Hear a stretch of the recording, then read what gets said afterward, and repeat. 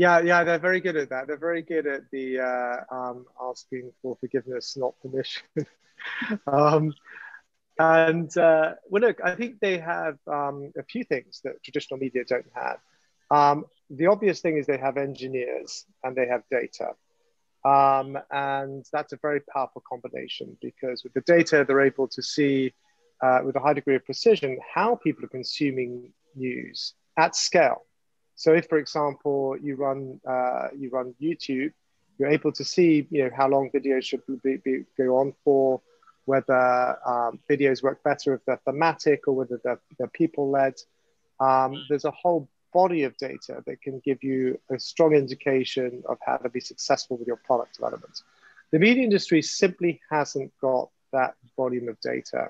And so the tech companies have that competitive advantage, which is really the data. And then sitting behind the data, the engineer, the armies of engineers who have the capacity to build products um, rapidly and at scale. But there's one other thing, um, uh, you know, that uh, we should be mindful of is that the, the best of these tech companies are fearless. And I think that's something that the media industry can learn from. The media industry tends to be quite timid, quite conservative in terms of how it develops products, how it tests products. The media industry tends to be terrified of making any changes to its digital product portfolio. Uh, by contrast, um, you can see at companies like Snapchat and Google and Facebook um, that they'll have a concept, uh, rapidly prototype it, they'll test it in customers, and then they'll put it live and they'll look at the data and they'll see what's working, what's not working.